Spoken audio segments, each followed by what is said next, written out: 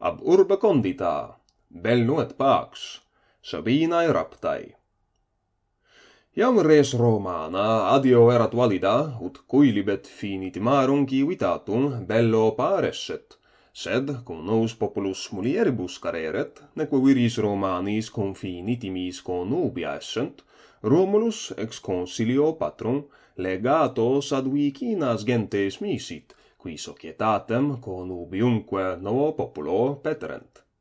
Nusquam benigne legatio auditas, adio aliae gentes Romanos pernebant, ac simul tantam in medio crescentem olem metuebant.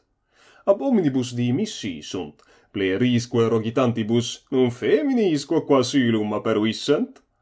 Il Romani iunes aegre passi sunt, et haudubie ad vim spectare res coipit.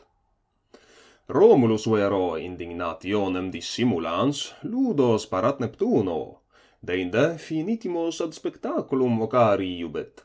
Multi mortales convenere, studio etiam videndae novae urbis, maxime ex oppidis proximis cae crustumerio, antemnis, etiam Sabinorum omnis multitudo con libris a coniugibus venit.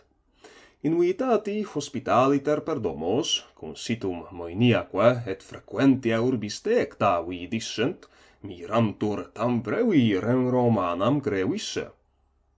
Ubi spectaculi tempus venit, atque eo oculi et mentes conversa erant, tum signo dato, juventus Romana ad rapiendas virgines discurrit Turbato permetum ludicro, maisti parentes virginum profugiunt, Romanos perfidos hospides incusantes, diumque Neptunum invocantes.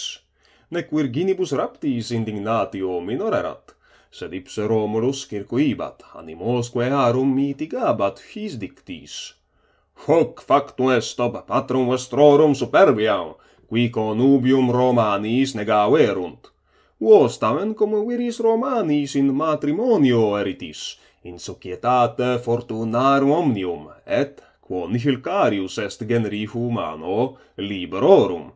Proinde mollit iram, et viris, quibus forte corpora data sunt, dat animos, saepex injuria postea gratia orta est. Ad hoc acce debant blanda verba virorum, quae ad muliebra ingenium maximam vim habent.